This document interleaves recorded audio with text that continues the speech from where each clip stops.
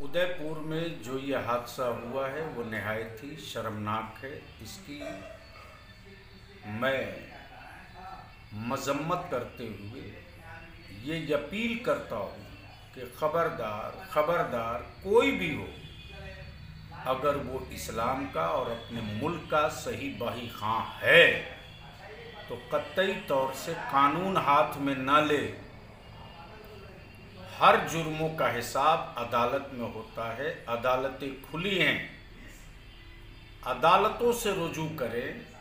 अगर वो वाकई और सच्चे दिल से पैगंबर मोहम्मद सल्लल्लाहु अलैहि वसल्लम के शहदाई और उनसे मोहब्बत करते हैं तो अपने मुल्क की अदलिया पर एतमाद रखते हुए अदालतों से रुजू करें।